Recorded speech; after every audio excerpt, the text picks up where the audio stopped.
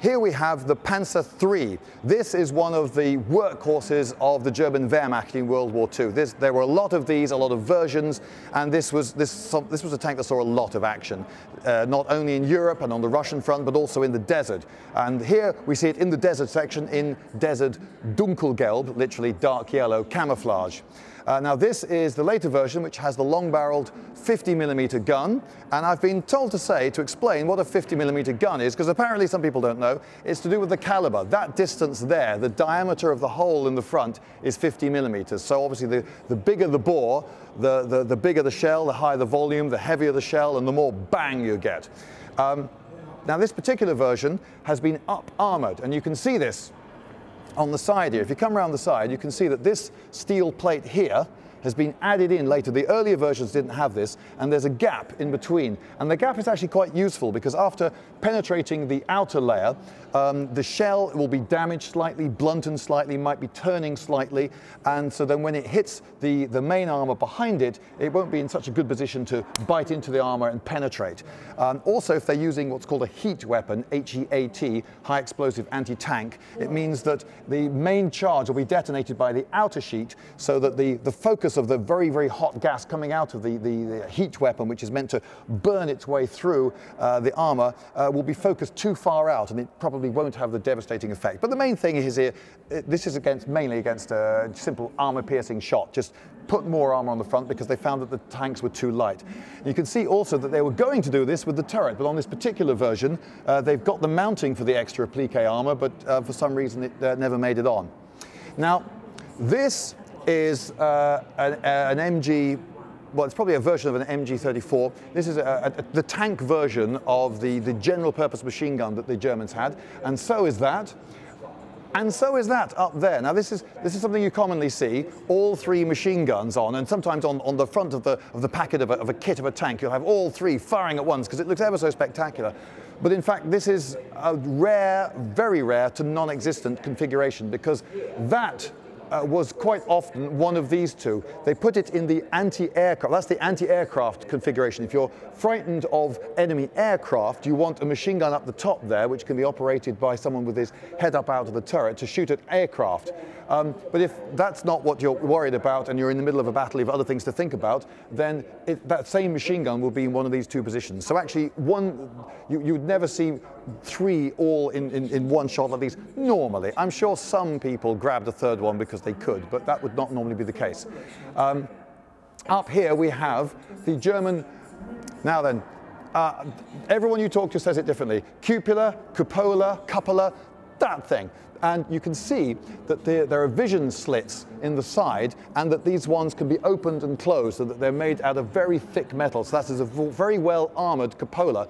It sticks up high out of the turret, which gives the commander a good all-round view. And of course, if he is worried um, about some very close by threat, he can always close it up again. And that became a standard cupola. They were trying to standardize things. So you'll see um, pretty much the same thing on the top of a Panzer IV and certain other German tanks because they were trying to standardize. Now, there's something called a shot trap. And there's a very good example of one here. Beautiful welding, by the way. The Germans, the Germans are very proud of their welding. These are crafted to last. They shouldn't be. The Germans crafted things to last far longer than the war was ever going to last, so it was a waste of time. But anyway, beautiful welding, I think you'll agree. So, if a tank shell comes in at this angle like that, this is a shot trap because even if it doesn't penetrate, it's going to bounce down and it bounces down into a weak point, into the join between the turret and the hull. So uh, shot traps uh, are something that uh, tank designers after a while learn to avoid. Uh, but here we see an example of one. And uh, I can't see exactly why this particular one existed. Sometimes on some tanks you, you, have to have a bit like that so that when the turret turns, the corner of the turret doesn't knock into something. Um, I suppose if you, if you had a box here, for instance, that might have been a problem. Um, but really, the shot trap is something that tank designers uh, tried to and, and should have tried perhaps more often to avoid. Now, I don't know if you've seen the film Saving Private Ryan, but in the film Saving Private Ryan, Tom Hanks gets his Tommy gun, runs up to the Tiger tank, and puts it into the vision port of the, of the driver and shoots the driver uh, through the front of the tank.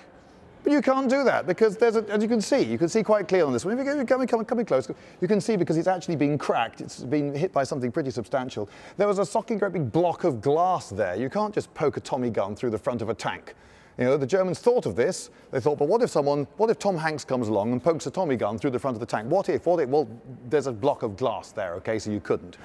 In the side of the turret here, you have uh, an, an, escape hatch, or, well, it doesn't have to be an escape hatch, just a way of getting in and out of the tank. Um, and if you were picking up ammunition and so forth and wanting to pass it into a tank, this was a convenient uh, place to have it. Though, of course, it's a weak point in the armor. All hatches are weak points in the armor to be avoided if you can. Uh, I believe that flap there might actually be an ejection port for spent cartridges. Um, that sometimes called a, a, a bustle, but it, this is really a turret bin. A bustle um, sticks out the back and you can put things into it from within the tank, but this is really just a storage bin welded on the back of the tank. It's a convenient place for putting your, your coat or whatever when you're, you're trying to fight. And yes, oh, you need, in, even in the heat of the desert, you're definitely going to need coats because it gets very, very cold at night. Being in the tank uh, in the desert was not pleasant because it gets so hot during the day and so cold during the night. You see loads of photographs of, of guys looking pretty miserable in trench coats and balaclavas. In fact, I would say that most of the photographs I've seen uh, of people fighting in the desert are guys very well wrapped up indeed. Ooh, oh, it's perishing. One difference between German and British tanks is that German tanks, usually, not always, but usually, had their sprocket wheels at the front. This is a sprocket wheel. You see it's got big teeth, and these engage with the links of the track, grip it, and pull it round it's at the front, which means that in a tank like this, which has the conventional layout with an engine at the back, it means you have to have a great big shaft coming the whole length of the tank, uh, which then has a, a, transmission at the front, which has one advantage if it's in front of the driver, so it gives a bit more protection for the driver, uh, but does use up a lot of room in the tank, and that then engages with this. One advantage of this is that um, this bit of track here, engaging with the teeth, is likely to be a little bit cleaner than if you do it the other way around because this bit of, of uh, track here bumping over these wheels will be shaking all the dirt off as it does so. So all this mud that gets caked into the, uh, into the tracks down here is carried to the back of the tank, then all going well, much of it is shaken off. So it's a reasonably clean track that's being engaged with here at the front. Whereas on a British tank, typically Again, not always, but typically you have the sprocket wheel at the back. And uh, this is a debate which is better, uh, which hasn't been settled yet. So there are modern tanks today which have them at the back and modern tanks with them at the front. So one advantage, one big advantage, is that you don't have to have a shaft going all the way through the fighting compartment of the tank, taking up lots of room. Um, and everything can be a bit more compact and you can get the drive wheel at the back. But it does mean uh, that the drive wheel is get, getting an awful lot more gunk on it. Um, and so it wears out a bit quicker.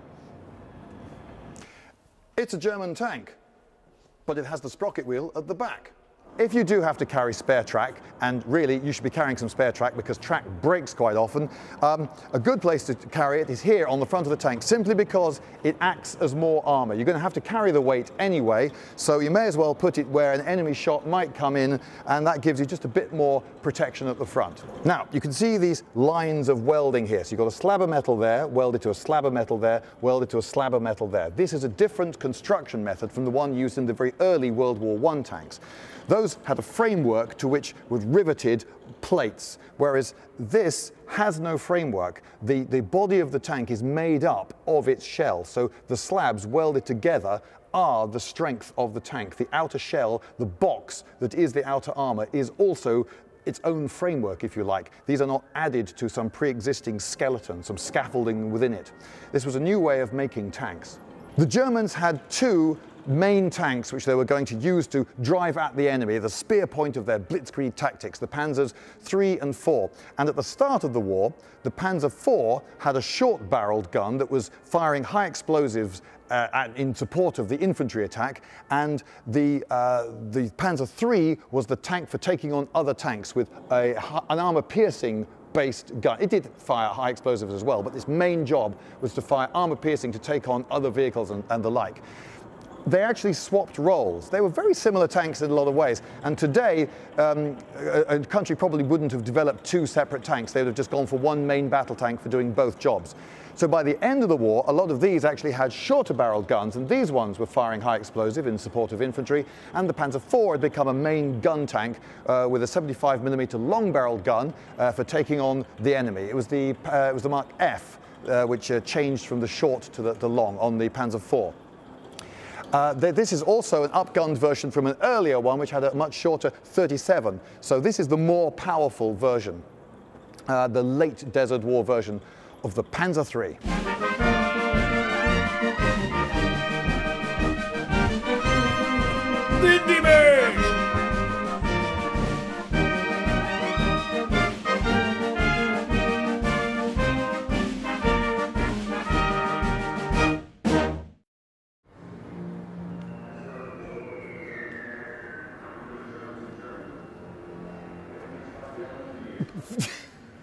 Okay, I couldn't lean back any further.